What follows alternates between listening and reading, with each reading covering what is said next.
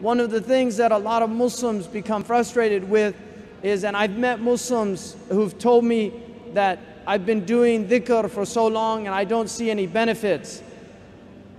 Ibn Ata'illah said, لولا الوارد ما al-wird." had it not been for the opening of God, you wouldn't have been doing any consistent dhikr. That that in itself is an opening from God. If, if, if you're reading the book, consistently, that is a gift from Allah subhanahu wa ta'ala.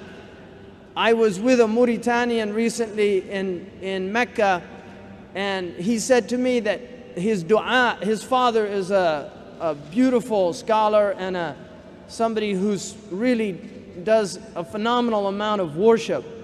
And he said to me that one of the prayers that he supplicates to Allah subhanahu wa ta'ala is that God give him the delight of his heart in the prayer. Because he sees his father praying constantly, and his father can't live without the extra prayers, not just the five daily prayers, but the actual extra prayers. He could not live without praying to tahajjud. That for him, it's like breathing, it's like eating, it's part of his life. And that's what he asked me. He's told me that that was his prayer to Allah to give him the same delight in prayer that he sees his father achieving in prayer. But his father did not get that overnight. It comes with mujahada because the beginning of the struggle is that one works, but it becomes easier and easier Allah subhanahu wa ta'ala will make it easier and easier for you to derive benefit. And this is why if your prayer, after 20 years of praying, if you're praying at the same level that you were praying prior to that, something's wrong. Imam al-Junaid, who's called Imam al-Ta'ifatain, the Imam of the two groups, because he was a, an Imam, a leader in his spiritual understanding, but he was also a leader in the Thawri madhab. He was a leader in fiqh, and in others. So he was called the Imam of the two groups the people who were mastering the inward sciences and the people that were mastering the outward sciences. Imam al Junaid is an Imam by consensus. Imam al Junaid radiallahu anhu said, المؤمن يتقلب في أربعين حالا في يوم واحد. The mu'min's state will change 40 times in a day. والكافر يبقى على حال واحدة لأربعين سنة and the disbeliever will stay in the same state for 40 years. Now, one of the things you notice about children, if you have children or have been around children, they're constantly changing. A child will be happy one moment and crying the next moment. The reason for that state is because it, the child is, is always in the moment. He's the child, he or she is in the moment, and the moment is very meaningful to the child. So if, if something happens that, that, that upsets the child, because they're so present in that moment, it manifests quickly in their state. If something makes the child happy, because they're so present, it manifests in their state. But there's people walking around in the world that are somnambulant. They're sleepwalkers. They haven't experienced the joy of the moment.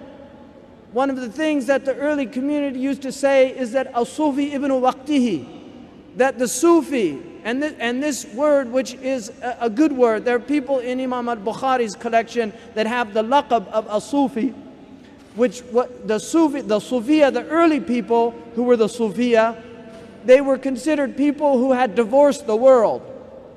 People who had divorced the world. A group later who imitated them and often were not people of the same upright character, became known as the mutasawwifa. And the early community distinguished between the Sufiya and the mutasawwifa, the people of tasawwuf and the people pretending to be of the people of tasawwuf. Most of what people condemn today from amongst the so-called Sufis is actually condemning the mutasawwifa. And it's important that the Muslims should be able to distinguish between these two groups.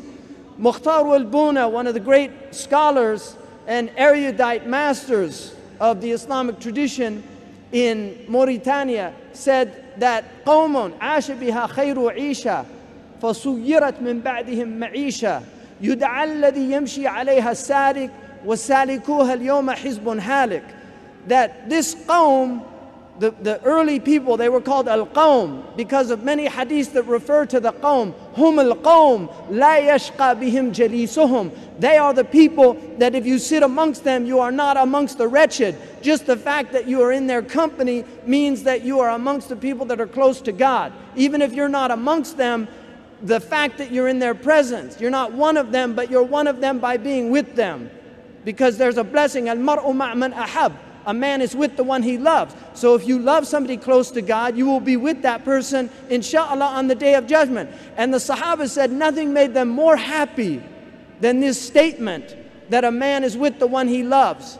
Because they all knew that they had mahabba. If they had anything, if they didn't have anything, they knew they had mahabba of Allah and His Messenger. And so they knew because one of the Sahaba came to the Prophet and he said, Ya Rasulullah, we have the blessing of your company, but in the akhirah, your maqam is so high.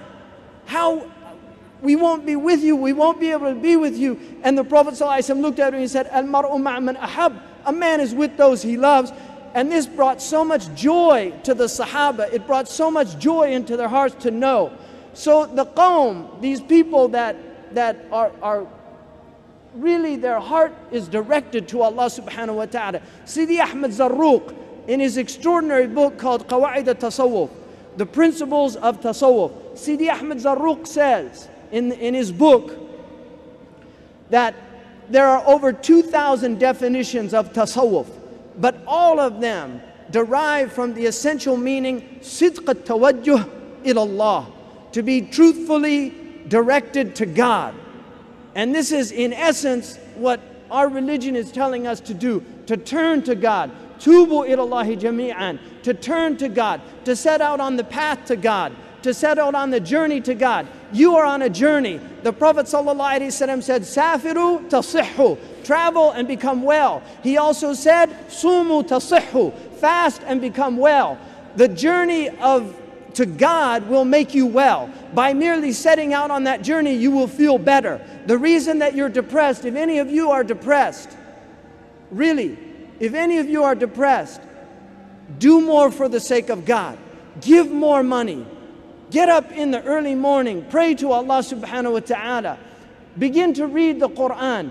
You will see your thoughts will change. The way you experience the world becomes differently. Wallahi, I can, I can attest to this, and I know many Muslims. My wife, who's been with me over 20 years now, will attest to the changes that she's seen in my life from the way I was 20 years ago to the way I am now, to the way that I react to things. I'm a choleric by nature. There's four temperaments in, in Islam. By me just telling you this is dangerous because you'll know too much about me. But we have four, uh, they're called the uh, akhlat or the tabaya. There's four temperaments in the Islamic tradition the Damawi, the Saudawi, the Balghami, and the Safrawi.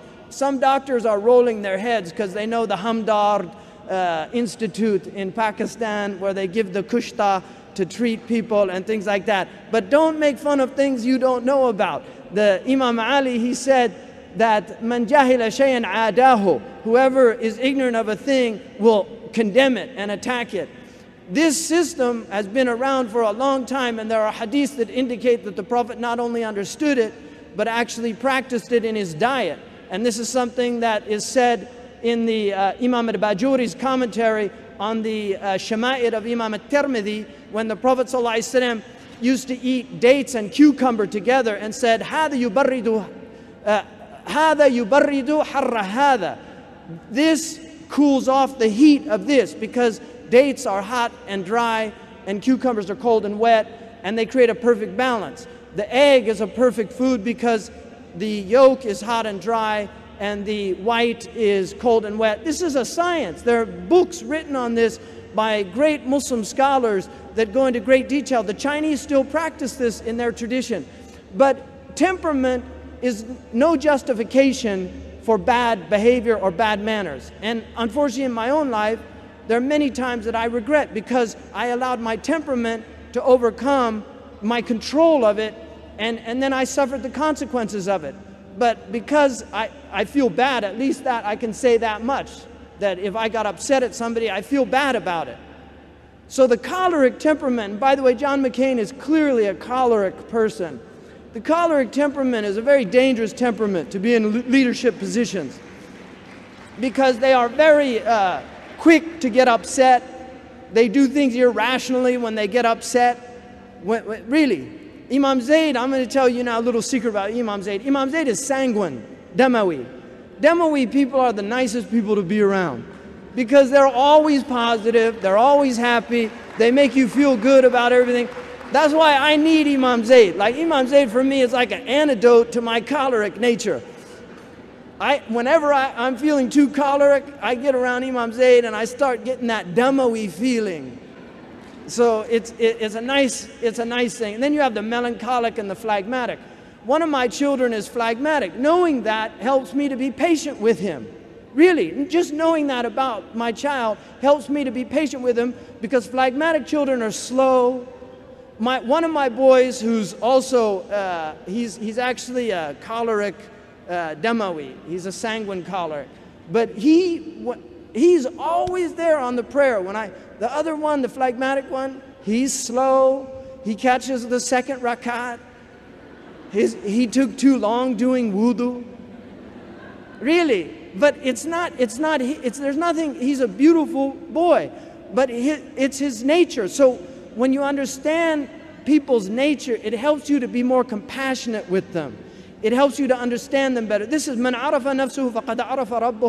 It's apocryphal, but many scholars comment, commentate on it. Some say it's actually from the Jewish tradition, but it's mentioned in many, many books. The one that knows his Lord, uh, the one that knows his self, knows his Lord. If you know your servanthood, if you know your dependence, then you understand the independence of God. If you know your insignificance, you understand the significance of God. If you know your place in the world, then you understand the place that God should have in your heart. That self knowledge is very important.